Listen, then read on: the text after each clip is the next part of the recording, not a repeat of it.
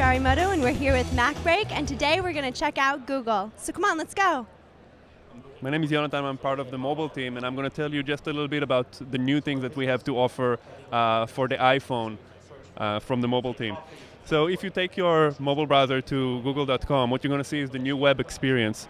Uh, we have optimized it for the iPhone. Everything is loading really fast. You can search and you can uh, access your iGoogle account right there from the web. We have um, auto suggest that will make your search and typing experience much easier. You won't have to complete the entire thing. Let's say you search for Disney, we will complete it to Disneyland, and you can just scroll down and touch things instead of typing the entire. And of course, the highlight that was featured in uh, in the keynote is my location on Google Maps.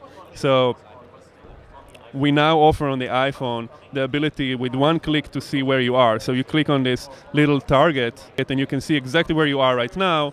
And based on that, you can you know search for businesses, you can search for routes, uh, directions, etc. So it, is that no matter where you are in the world? It really doesn't matter where you are in the world. Wherever there are Google uh, Maps users, we can uh, give you your location. It's pretty neat. And what is your favorite thing about the iPhone that you've worked on? Um, so I'm a product marketing manager for Maps and for Google 411, and these, the integration of these two is, I think, a really nice feature. So saying map it after you hear um, the business that you're interested in and having it sent right there to your phone, I think is a really nice feature.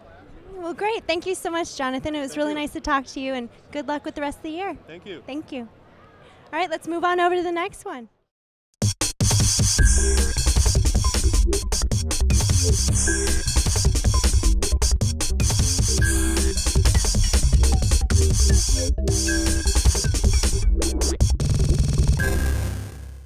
Bandwidth for MacBreak is provided by CacheFly at C A C H E F L Y dot com.